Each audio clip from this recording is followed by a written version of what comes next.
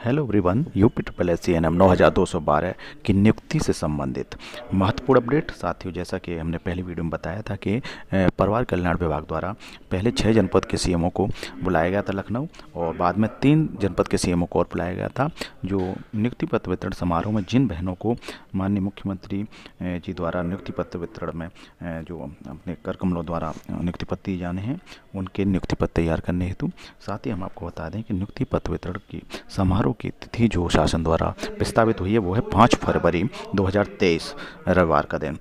साथ ही आज बारह बजे तक जो अपडेट मिली है, उसके अनुसार परिवार कल्याण विभाग द्वारा लगभग 50 जिलों में सी के मेल आईडी पर जो